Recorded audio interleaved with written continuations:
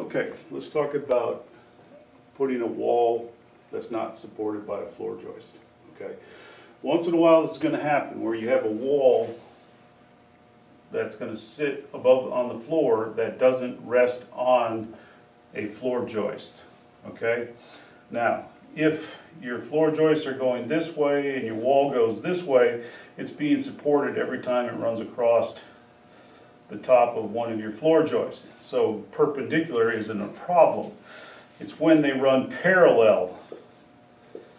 And then you have a wall that runs between the two, okay? What is supporting that? The only thing that's supporting that is that subfloor, okay? So over time, what's gonna happen is your subfloor is going to settle, and your wall is gonna settle, and that means everything above it's gonna settle. So you want to avoid that, all right? So there's a couple methods in which you can solve the problem. When you're building, you check your floor plans and you say, oh, we're gonna have a wall. So you can add another floor joist to, if it's a long wall, you can add another floor joist underneath it to support the wall, okay? Let's say you forgot to look at your floor plans and later on you're like, oh, I realized I didn't. So I've got a floor joist and a floor joist and the wall is running down here.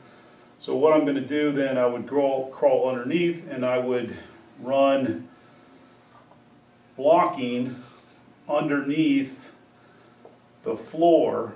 Now the wall is being supported by the blocking and it won't sag over time, okay? So putting in the joist is best when you're building the floor system because that'd be tough to put it back, put it in there later on. But if you forgot, you can go in and put it in with the blocking and it would serve the same purpose, okay? Now, how do you determine whether this needs to be reinforced or not?